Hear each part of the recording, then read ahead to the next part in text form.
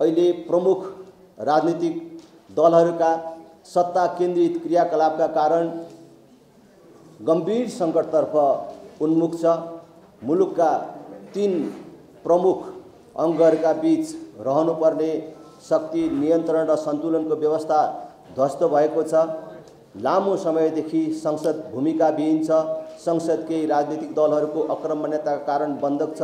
संसद संसद जस्तो छैन।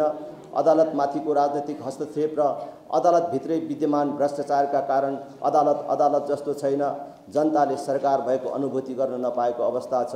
कमजोर अर्थतन्त्र बढ्दो युवा बेरोजगारी राज्यका सबै अङ्गमा भ्रष्टाचार र भ्रष्टाचारमा सबै प्रमुख राजनीतिक दलहरूको संलग्नता वैदेशिक नीतिमा आएको असन्तुलन सामान्य अवस्था होइन।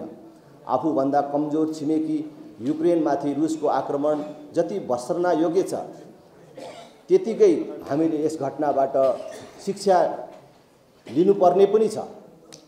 वैदेशिक सम्बन्धलाई सत्तारोहणको सिडीको रूपमा प्रयोग गर्ने आलो काँचो व्यवहारका कारण हाम्रो वैदेशिक सम्बन्ध पूर्ण रूपमा खलबलिन पुगेको छ। र नेपाल शक्ति राष्ट्रहरूको रणनीतिक प्रतिस्पर्धा स्थलमा परिणत भएको छ। सत्ता पक्ष र प्रमुख राजनीतिक दलहरूका क्रियाकलापका कारण हुने नोक्सानीको मूल्य केवल सम्बन्धित राजनैतिक दल र नेताले मात्र चुकाउनु पर्दैन। त्यसको भार सिङ्गो मुलुकले बिहोर्नु पर्नेछ अहिले देश त्यही बाटोतर्फ उन्मुख छ।